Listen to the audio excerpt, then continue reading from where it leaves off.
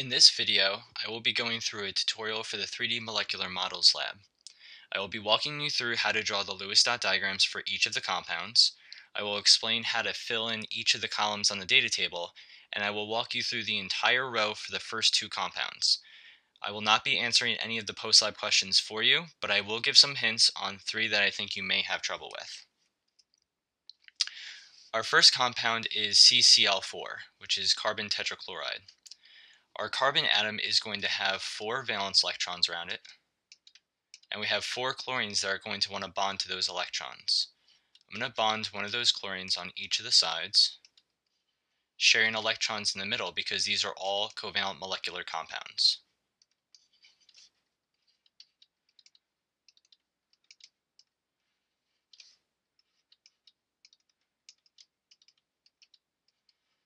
So this is what your Lewis dot diagram should look like. Uh, you could also draw yours with the lines, which represent a bond. Remember, each one of these lines is the same thing as uh, two dots which are being circled. And now for filling in this row on the data table, your total number of electron groups around the central atom is a combination of your bonding directions and your number of lone pairs. So it might actually be easier to save this one for last. For a number of bonding directions here, we clearly have four bonding directions going around the carbon because of the four chlorines. So we'll fill that in as four. Lone pairs. They only matter if they're on the central atom for the shape. And carbon doesn't have any lone pairs. There are only lone pairs on the chlorine. So that's going to be zero. Now this first column should be the sum of these two. So four bonding directions and two electron, or sorry, zero lone pairs on the central atom means that you have a total of four electron groups on the carbon. All right, now for the bond angle, what you would do from here is you would build this within the PhET simulation program. You're going to have your four bonds with no lone pairs on it, and then what you need to do is click on these options right here, show bond angles, electron geometry, and molecular geometry. And then all that information will be filled in for you. So here we have a bond angle of 109.5, we have a tetrahedral electron geometry, which is shown right here, and we have a tetrahedral molecular geometry. All right, for polar or nonpolar bonds, this is based on which atoms are connecting to each other. So in this instance, we have carbon connecting to chlorine. There are only two instances where you're going to have nonpolar bonds. So nonpolar bonds can occur when you have a diatomic element. That means that you have two of literally the same atom bonding to each other. An, an example of that would be something like nitrogen bonding to nitrogen, which is not the case here. Another example of a nonpolar interaction would be carbon bonding to hydrogen. The electronegativity is so similar between carbon and hydrogen, we can basically say that they have the same desire for electrons. So that's going to lead to a nonpolar bond, which means the electrons are right in the middle. But since carbon and chlorine doesn't fit that criteria, these electrons are going to be closer to one atom as opposed to the other. And in this instance, because chlorine is more electronegative, that's going to be the side the electrons are pulled to. Uh, that's from our Unit 5 uh, on periodic trends. So right here, we're going to fill in polar. And now for determining whether it's a polar or nonpolar molecule. For this one, you really want to look at the three-dimensional structure that you built within the program. If the compound has polar bonds, it could also be a polar molecule, but you have to look for symmetry. If the molecule is symmetrical, then any of the polarity that it had is going to be canceled out. And that's what's happening here.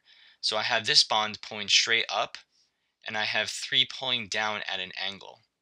Well, the angle between these three is going to cancel out to give a net pull going straight down, which cancels out the net pull going up. So this is going to be a nonpolar molecule, even though it has polar bonds. Now, something else that's important to think about, uh, within this program, they don't show you what each of these little balls actually represents. The fact that all of these are actually the same atom, chlorine, is important. If one of these was different, let's say that it was a fluorine or maybe a hydrogen, then even though geometrically it would still be symmetrical, it would no longer be symmetrical in terms of molecular uh, interactions because the hydrogen would not have the same pull as the chlorine.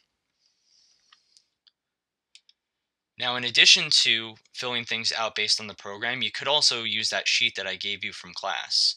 So the way that you would use this, you know that there were four total electron groups, so we're within this category. That means it's part of the tetrahedral family or the tetrahedral electron geometry. Now I go across, okay, bond angles of 109.5 for all of the members of that family.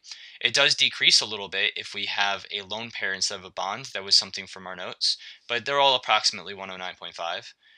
Uh, and then in this example, we have 4 and 0. So that means the molecular name is also tetrahedral.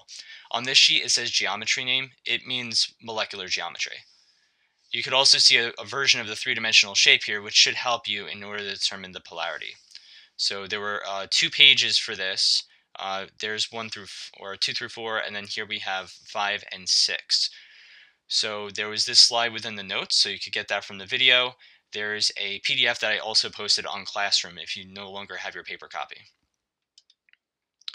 For our next example, we have PH3.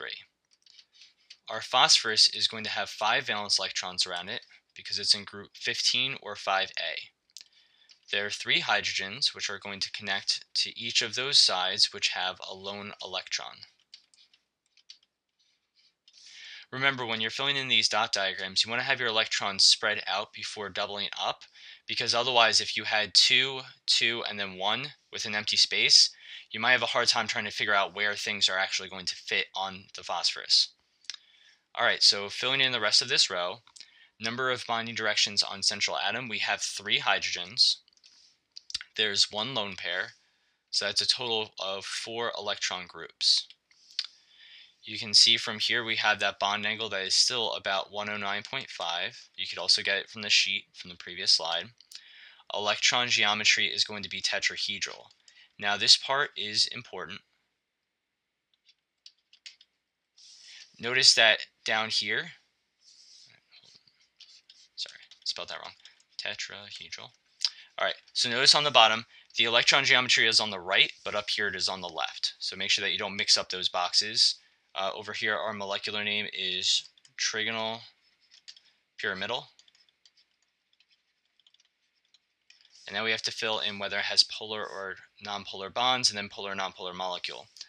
Phosphorus to hydrogen is going to be a polar bond. It doesn't meet those criteria from the previous example. It's not carbon and hydrogen and it's not a diatomic. And then for the symmetry. This lone pair is not equivalent to any of those bonds. So this is not symmetrical, which makes it a polar molecule. All right, for the rest of the examples, I'm not going to be filling in the rest of this. I want you to try to do that on your own, but I will at least show you the Lewis dot diagram, and I do have the examples of what they would look like within the program in case you want to look at the 3D structure for the last column here. So in this example, we have a boron. Boron has three valence electrons. Notice this red star here. I mean, this means that is an exception to the octet rule. So if you don't end up with eight electrons around your central atom in the end, that's okay. I'm going to put a chlorine on each of those sides.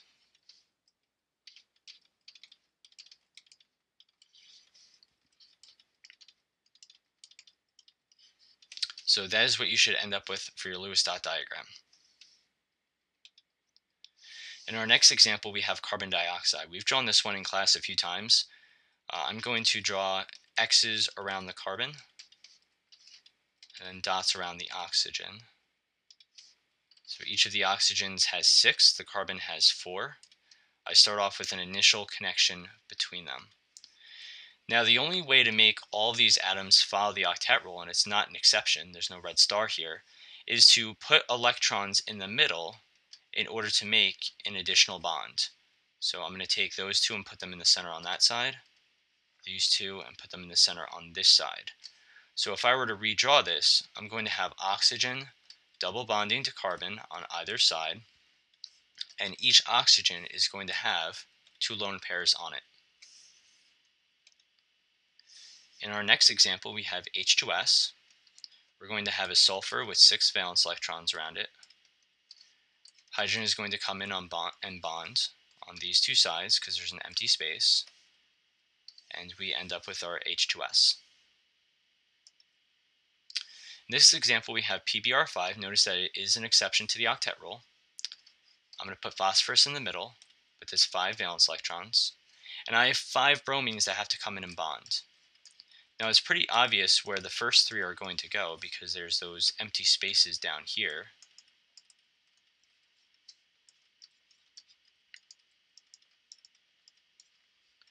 But then normally we only have a maximum of four atoms going around our central atom. Well, that was because we were following the octet rule, so each of those sides, 2, 4, 6, 8. But in this instance, we are going to have a bromine, which is going to attach to this electron, and another bromine that is going to attach to this one. I think I drew one extra electron here, so that one would not belong. Get rid of that. All right, now it might look a little cramped on paper, but remember this is going to occur within three dimensions, so when you have it actually built, it would look somewhat like this. So phosphorus here is being an exception to the octet rule. Our sulfur hexachloride is also going to be an exception to the octet rule. So I'm going to start with my six valence electrons here.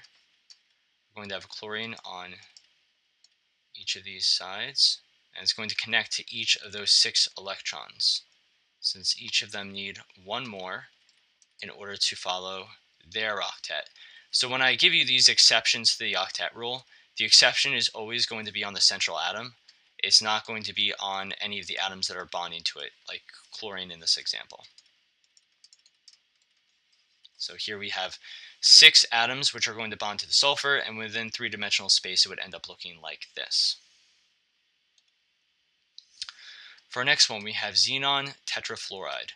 Now, xenon is a noble gas. It doesn't typically react, but in this instance, there are four fluorines that are going to come in and try to bond to, to these electrons.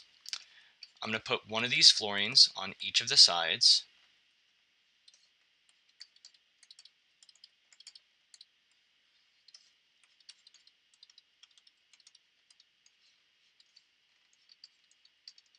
And you'll notice that when I'm done, there are four dots that did not go into those bonds. Now I'm going to redraw this to make it just a little bit neater. So I'm going to draw my fluorines. And just in the instant, uh, just in the interest of saving time, I'm not going to put the lone pairs around the fluorine, but I'm going to draw those lone electrons together and maybe draw them a little bit darker so that they stand out. So you can see that this has the four bonds and then the two lone pairs that are left on the xenon. So this is also going to be breaking the octet rule. All right, in this example, I have a carbon atom, which has four valence electrons. I have an oxygen, which has six, and then I have the two hydrogens, which each have one. I'm going to make an initial connection here. Carbon I'm putting in the middle. It has the most bonding opportunities. So it makes the most sense to uh, put that there. Uh, the only way to have this properly follow the octet rule is to have both hydrogens bond to this carbon, and then I could take these two electrons and put them both in the center. So I'm going to make a double bond. In the end, you're going to have carbon double bonding to an oxygen, the hydrogen on either side of the carbon, and then a couple of lone pairs on the oxygen. And you got a 3D structure like here in the bottom right corner. Alright, so this is our last example from the data table. We have C2H2. Uh, we also did this in one of the key assignments. So you have a carbon with four valence electrons, another carbon with four valence electrons. We'll link those in the middle. And then we have only two electrons, so we could put, or two hydrogens, so we could put one on either side. Now, once we've done this, the only way to make it follow the octet rule, because this one is not an exception, there's no red star there is to put these electrons in the center for a double bond, and then these electrons in the center for a triple bond. So I'll redraw this. We end up with this structure. Now this one is kind of a special case here because you can't actually make this molecule exactly within that 3D program that we have. It only lets you add atoms to this central atom right here, the one in purple, so if I try to add that additional hydrogen, it'll come off over here and you get the wrong shape. So for this one, I'm asking that you just make it like this. So you put a triple bond on one side, a single bond on the other, and then you kind of just have to imagine that there's another bonds coming off over here with another one of those hydrogens on this side. So you can see here that this would be symmetrical and one straight line. And that should help you to fill in the rest of this table up here. All right, so the final thing that I wanted to cover here was uh, some of the post-lab questions. I'm not going to actually answer any of them, but I did want to kind of give a couple hints in case you might have trouble with any of them. The first one says to explain why a molecule of CO2 does not have a net dipole even though it has polar bonds. And in class on Friday, I had a few people ask me about this thing right here, net dipole. A net dipole just means that you have a molecule which is polar. You know di means two, so this means that you have two poles on the molecule. Uh, an example of this would be something like water. So we've drawn this plenty of times before. You know that with water, on the side with the lone pairs, since oxygen is more electronegative, we say that this end is partially negative, and the hydrogen end would be partially positive. Well, I could say that this molecule has a net dipole. It has a positive and a negative end. Now the carbon dioxide dot diagram we drew before, it looks like this. So you want to think about the structure here and then try to explain why this would not have a positive and a negative end to it or a net dipole. Now for question 5, it says why do NH3, H2O, and HF molecules have hydrogen bonding but CH4 molecules do not? So for this, I just want to remind you that hydrogen bonding does not mean that you have hydrogen bonding inside of a molecule. It's something completely different. It's one of the three types of intermolecular or van der Waals forces that we talked about in the notes. Uh, if you go to the last slide from the last time that we took notes, it basically gives the criteria for when you can and cannot have hydrogen bonding. So if you're not sure when hydrogen bonding would occur, I would suggest that you go back to that. Uh, now for the last one, I'll give you a little more detail on. It says which intermolecular forces are present in each of the following molecules. First, I'm going to draw the Lewis dot diagrams. So we have a hydrogen, or sorry, a carbon with four hydrogens around it. We have an oxygen with two hydrogens around it. And then we have a carbon with a chlorine and three fluorines. And these, of course, have all of their lone pair electrons around them as well. Now, when you're looking at each of these molecules, you need to try to determine which types of intermolecular forces are present. And remember, there's three. There's the London dispersion. London dispersion forces are present within all molecules. Uh, it's the weakest of the three intermolecular forces, but it does increase the more electrons you have within the molecule. Uh, then you have uh, dipole interactions, or dipole forces. These are only present in polar molecules. They are where you have a permanent dipole, so a partial positive and a partial negative end. And uh, that permanent dipole helps your molecules to stick together better than they could with uh, London dispersion forces, which again are only temporary. Uh, then you have your hydrogen bonding, which was the strongest. And again, you should look back at your notes to see what criteria, how you're supposed to know if you have hydrogen bonding or not. So essentially what you're supposed to do here is look at each of these molecules, determine which types of forces they are going to have from this list, and then you can rank them based on that. The stronger your intermolecular forces are, uh, the more likely that it is going to have a higher boiling point. And the weaker your intermolecular forces are, the lower the boiling point will be. Alright, so that just about covers our tutorial video.